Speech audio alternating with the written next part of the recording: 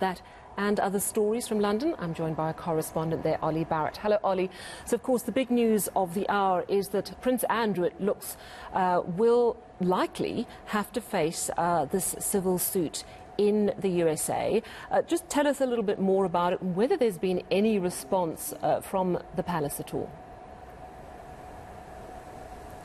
No response from the palace at all at the moment. All that the palace will say uh, is that there won't be any comment on ongoing legal proceedings. There are sources close to Prince Andrew who are urging journalists not to get carried away with this particular latest development, which essentially threw out Andrew's legal team's attempts to get this particular case uh, thrown out by the judge because uh, they were saying that it related to a previous settlement that the uh, accuser of Prince Andrew, Virginia Giuffre, uh, had made with Jeffrey Epstein, which, in their view, meant that this uh, further claim shouldn't be able to go ahead. Well, the judge has dismissed that, so it does mean that the case can potentially proceed. And as you say, it does therefore open up the possibility of Prince Andrew being asked, at least, to appear in a New York courtroom in the coming months to answer some of the allegations being made against him. He has always denied uh, allegations of uh, sexual assault and sexual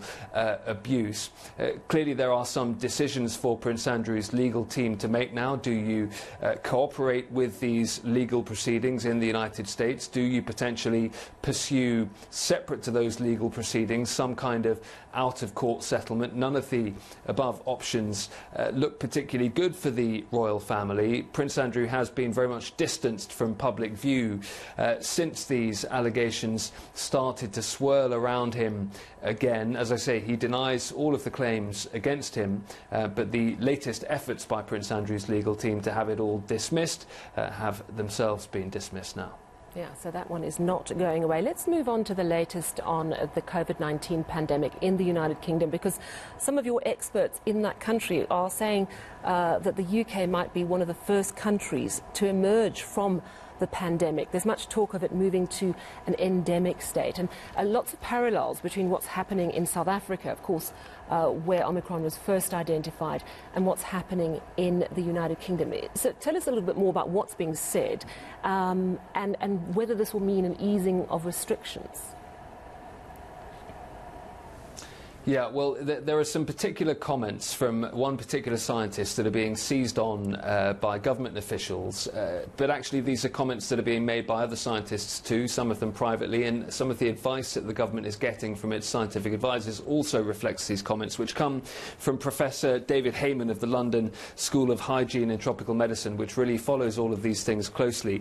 He has said uh, publicly that he believes that the UK is now the closest of any comparable nation to moving moving out of the pandemic into endemicity. He says it may indeed already be there, and he says the reason for that, he believes, is a combination here in the UK of high levels of previous infection to a series of COVID 19 variants, but also very high levels of vaccination and booster coverage as well. We have well over 60% of people aged over 12 now who've received a booster dose, and those statistics are slightly skewed by the fact that it's actually only over 18s who are receiving those booster doses in the first place. So when you talk about adults, the vast majority of the population now has received a booster uh, vaccine. Professor Heymann says that that combination of previous infection and vaccination looks like it will now keep the virus at bay.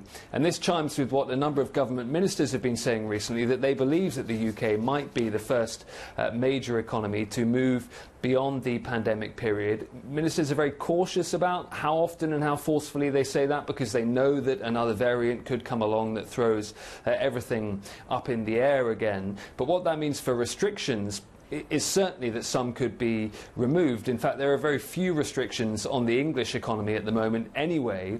We're in so called Plan B, which sees mask wearing in shops and on public transport, work from home guidance, and masks in schools, and also uh, those COVID passes to gain access to major events. So it may well be that come January the 26th, when all of that is reviewed, that some, if not all of those measures, are indeed uh, removed. And certainly a lot of Conservative MPs MPs uh, are pressuring Boris Johnson, the Prime Minister, indeed to do exactly that and remove some of those final restrictions that are in place that were toughened because of uh, Omicron. Boris Johnson is a weakened Prime Minister at the moment, so when he comes under that type of pressure, assuming he remains uh, in his job, he may well find he has little option uh, than to go ahead with uh, some or all of what those Conservative MPs are asking him to do.